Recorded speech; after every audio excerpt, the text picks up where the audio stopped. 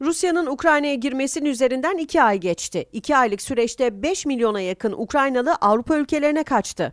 Suriye Savaşı ve Afganistan'da yaşanan iktidar değişimi sonrasında artan yasa dışı göç, Ukrayna Savaşı'nın ardından Avrupa'daki en önemli gündem maddelerinden biri oldu.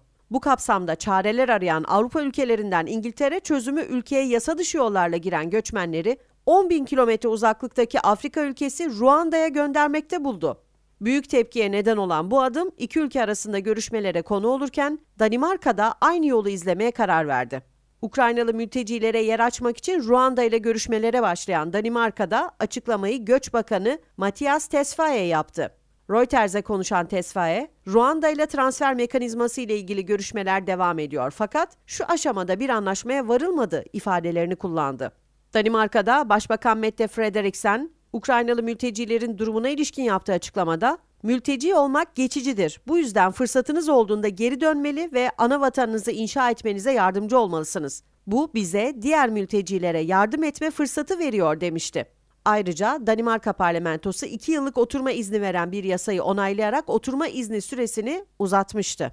Öte yandan Danimarka'nın Suriyelilere uyguladığı ülkeye girişte kişisel eşyalarına el koyma yasasını Ukraynalılara uygulamayacak olması da büyük tepki çekmişti.